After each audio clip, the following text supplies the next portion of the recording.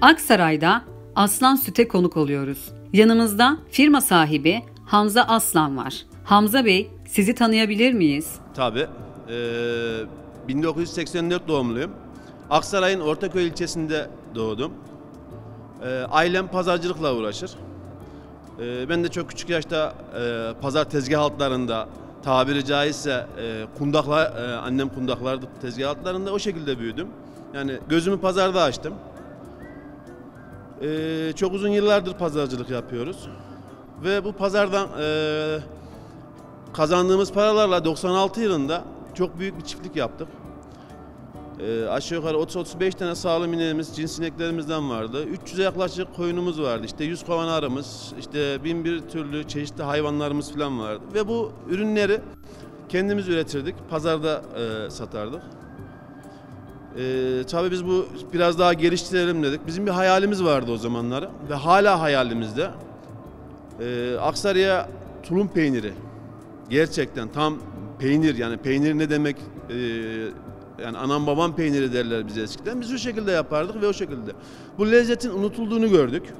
Yani daha doğrusu Aksaray'ımızdan kaybolduğunu gördük. Ve işler acısı olarak ee, kendimize dedik. Neden tekrardan yapmayalım? Neden e, biz bu işi çünkü yapıyoruz. Yani neden olmasın? Biz bu işi yaptığımız için ve hayalimizi gerçekleştirdik.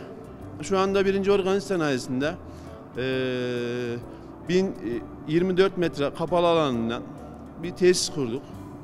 Burada Aksaray'ımızın e, kendisine özgü, kendisine has tulum peynirini tekrardan üretip tekrardan Aksaray'a kazandırmak için elimizden gelen bütün gayretlerimizi gösteriyoruz. Rabbim inşallah bizi muvaffak eyler. Aksaray tulum peynirini bizlere anlatır mısınız? Şimdi damak tadından şöyle bir şey bahsedeyim. Ee, yakınlarda bir deneme yaptım çünkü e, eski peynirden. Kayınbabam ismi Raif Kurter. Ee, ben yok e, şehir dışındaydım evde kahvaltıya oturmuş. Dedi ki ne? Kızım ben bu tadı bir çocukluğumda almıştım. E bir de bunu aldım. Hamza'ya söyle nereden aldıysa bu peynirden getirsin.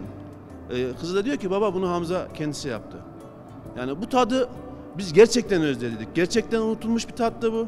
İnşallah Rabbimizi muvaffak ederse bu tadı geri Aksaray'ımıza ve tüm Türkiye'mize e, geri tekrar kazandırmak istiyoruz. Aksaray'ın sadece malaklı köpeği meşhur değil, tulum peyniri de meşhur. Ve bunu e, tüm Türkiye'ye duyurmaya çalışacağız. Şöyle bir şey söyleyeyim. Burada üretimimizde işte e, sütümüz gelip mayalama sistemimizden geçtikten tabii şırdan mayası doğal hiçbir katkımız yok. E, tek katkımız buna tuz ve sevgimiz. E, burada fermentasyon odalarımız var. Odalarda şimdi tulum peyniri deyince akla hemen yapılıp hemen yenen peynir değil. Bu 2, 3 veya 5 ay gözlem altında olgunlaşmasını sağlayacağız. Ve tam olgunlaştığı zaman biz ürünümüzü tabii bu 4 veya 5 ayda da inceliyoruz yani nasıl bir ürün ürettik ve nasıl ne istiyoruz. Yani bu şekilde bir tam tadını çok eskilerimize dayanan bir, örf ve adetlerimize dayanan bir ürün yapmayı istiyoruz ki yapıyoruz da şu anda. Rabbim izin verirse çok kısa bir zaman içerisinde tüm Türkiye'ye elimizden geldiği gücümüzün yettiği kadarıyla e, hizmet vermeye çalışacağız. İleriye yönelik hedef ve projeleriniz nelerdir? Türkiye'mizde büyük bir üretim tesisi kazandırmak ve e, bu fabrikamızın içerisinde yan tarafımızda yine 1224 metre bir kapalı alanımız var. Buraya da süt tozu fabrikası kurmak. Hayalimiz bu şekilde. Rabbim inşallah muvaffak eyler bizi. Bir de aile şirketiyiz. Çalışanlarımız hep e, çoluğumuz, çocuğumuz, işte yeğenlerim, kardeşlerimiz. Bilmem inşallah muvaffak oluruz. Ve Aksaray'a çok güzel bir istihdam sağlamayı düşünüyoruz. İnşallah muvaffak oluruz. Firmanızın ürün gamından bahseder misiniz? 10 çeşit tulumumuz olacak, kaşar peynirimiz olacak, tereyağımız olacak. Ondan sonra e, manda yoğurdumuz, keçi yoğurtumuz, koyun yoğurdumuz. E, yani sütten ne, yapabil ne yapılabiliyorsa bunları yapmayı istiyoruz. İnşallah yani çeşitlerimiz bol ve inanıyorum ki bunu yani e, şimdi şöyle bir şey söyleyeyim. Ben bazı müşterilerimde ben bunu görüyorum.